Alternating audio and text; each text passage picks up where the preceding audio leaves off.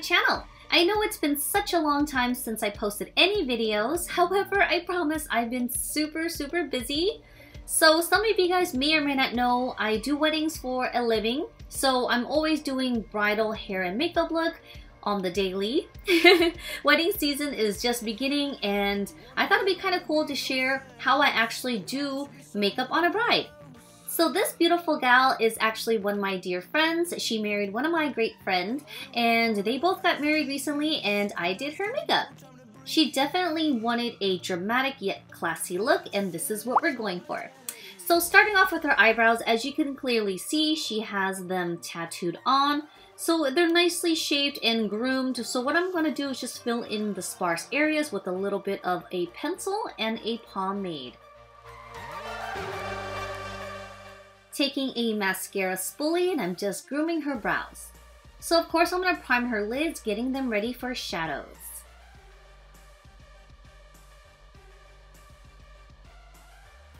Before we actually get into the shadows, what I'm going to do is shape her brows. Now, like I mentioned, she does have nicely shaped and groomed brows, but this is just going to highlight the highest points, which is her arch. It just makes it a bit cleaner looking, but it's still very pretty.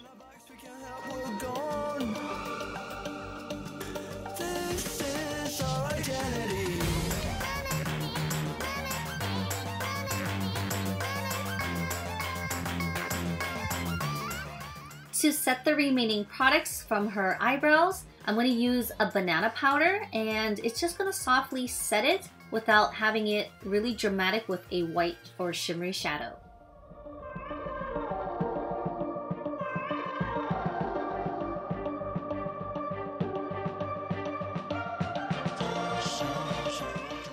As always, I'm going to use a soft taupey color and this is going to help with the transition in the crease, getting ready to build other shadows on her eyes.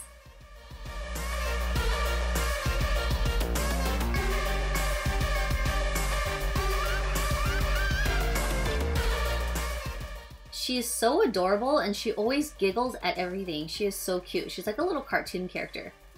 And she loves coffee just like me!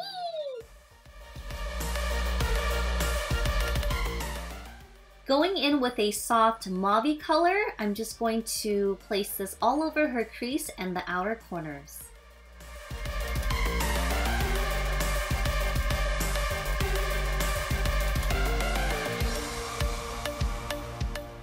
Now this is the time where you can create the shadows to more of a dramatic look. So I'm starting off with a deep dark chocolate brown and I'm just starting on the outer V's of her eyes. As you can see, I'm just kind of feathering the brush across her lash line, letting it sink in the eye socket on the corners and just slightly bringing it up to the crease. Now this will create a really smoky yet dramatic look where it's going to be the darkest on the outer corners, but softly diffused towards the center of her eyes. Now this will make it more dimensional looking, and of course it's going to give you that drama. So this portion, she's actually telling me what type of accessory she brought because we are doing a bridal updo after this, a shameless plug. You guys want to stick tuned? Stick tuned? You guys want to stay tuned for that?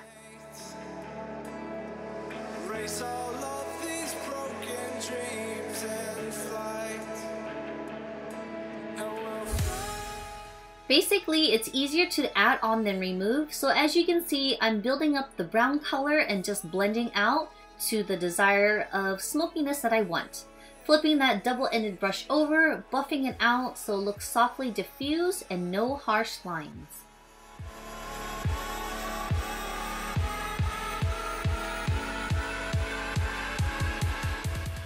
Now I'm going to take a soft champagne kind of bronzy color, taking a flat shadow brush, patting this right on the inner parts of her eyelids, but I'm not overlapping on her outer crease.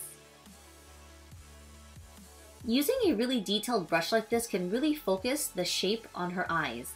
She definitely has an eyelid and has that crease, beautiful eyes, almond, so it's easy to just kind of follow the pattern. But using a flat detailed brush like this one here, it actually makes your work look a bit cleaner especially around the eyes.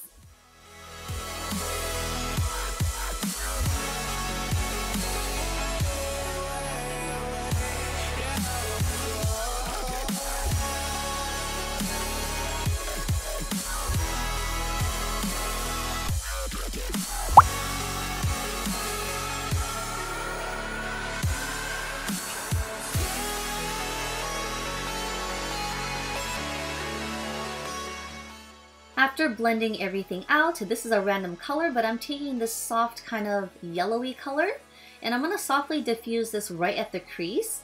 It just softens up the look a little bit, and there's no line of demarcation in between the shadows. She was laughing about her little baby hairs here. I understand, girl. I got a lot of them.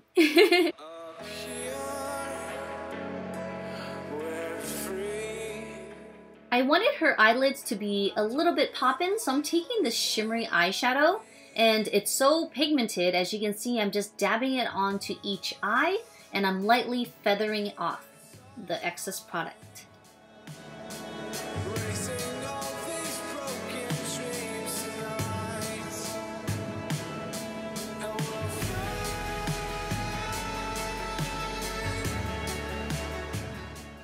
Now it's time to build the lashes with some mascara and of course some falsies. And I'm using this Too Faced Waterproof Better Than Sex mascara for this look.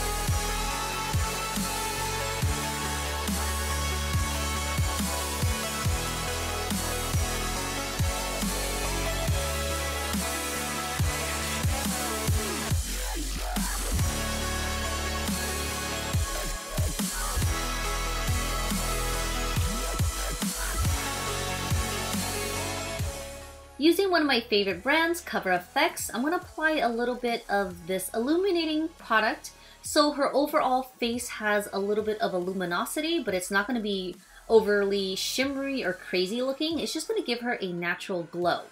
So I'm just taking a buffing brush and I'm just buffing all the highest points of her face. And then I'm going to get ready for primer and then the rest of her complexion products. She was like, oh my god, I thought you were gonna drip this all over my face like you see on Instagram. I was like, girl, no. I'm gonna use a brush and apply it on properly. and she was laughing. She also really liked the primer I used, which is the gripping primer, also another goodie by Cover FX. This is an excellent primer, especially for bridal or longevity. It's actually really good. And look, tofu's right there.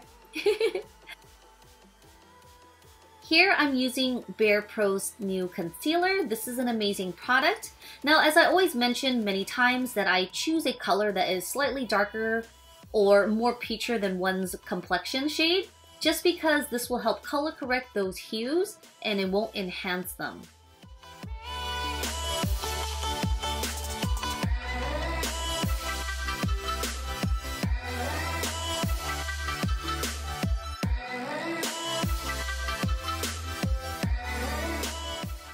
If needed, you can go back with a coat of mascara or just gently crimp their lashes. This will help fan it up out of their vision so it's more comfortable to see and wear.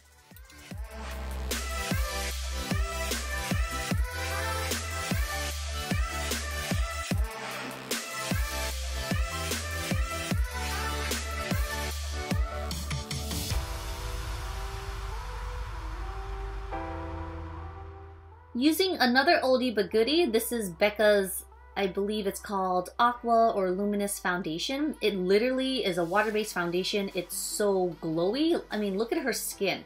It's so soft and natural. She was like, what is that smell? She was like, what is that? I was like, I don't know. It could be my brush cleaner. It could be the foundation. And she was like, I think it's the foundation. And she loves the stuff so much.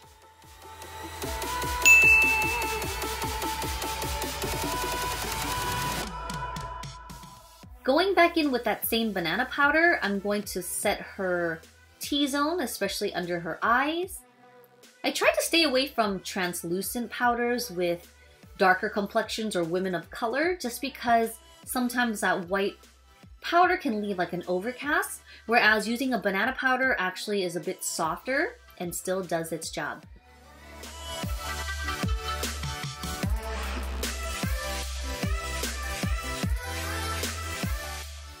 Now contouring her features to bring them out and shadowing what's needed. She's kind of learning from me because she was like, I don't know how to properly contour. So it's just giving her little tips and tricks and what types of colors to use. Now I'm going to go in with a blush and just highlight the apples of her cheeks. I normally have my clients smile, locate the apples of the cheeks, and just softly feather it towards the highest points of her eyes, which is where the highlight will go next.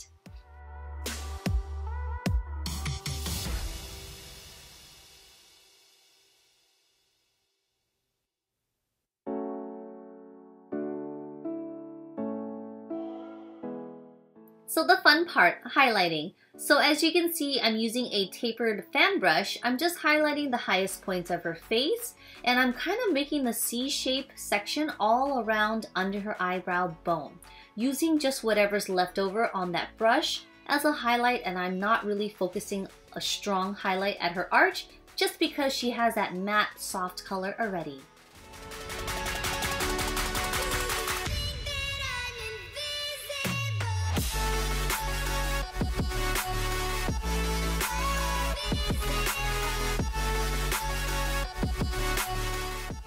I'm going to let her lip balm hydrate a little bit. So I'm going to jump back to her eyes.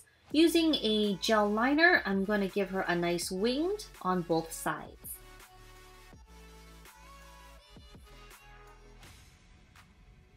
On the other eye, you can see I kind of made a little boo-boo there, but I fixed it. It's all about the angles. You can use tape if you need a guideline. I did not use any guideline, but I kind of angled it a little too high, but I did eventually fix it. You'll see with a little bit of concealer. Not too worried about that just because it's a more dramatic smoky look this time. So I'm going to go back in with a shadow as you can see and it'll create a little bit of a softness on the outer corners.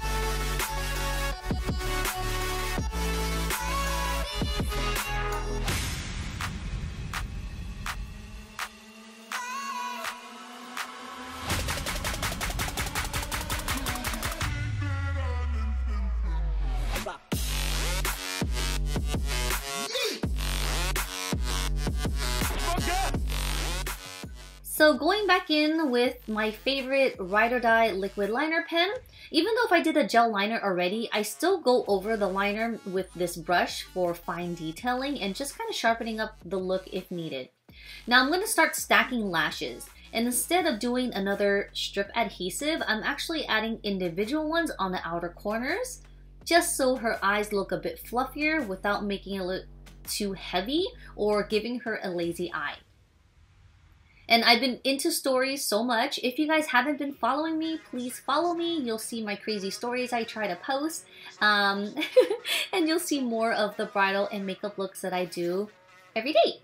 So I'm going to go in with some shadow, smoke out her lower liner, and just have it more dramatic looking.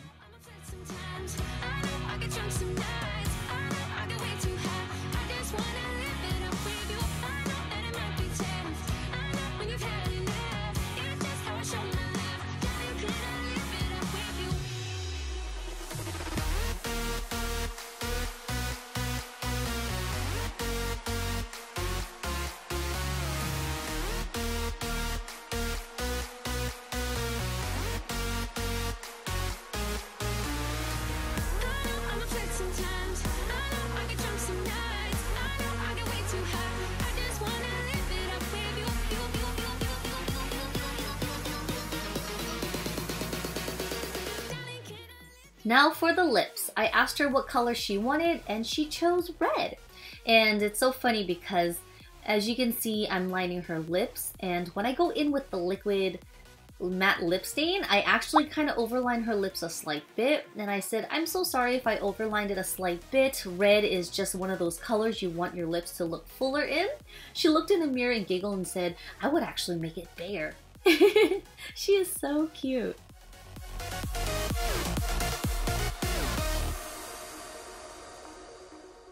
I'm using another Sephora Collections favorite. This is actually one of my go-to lip stains that I use for my brides.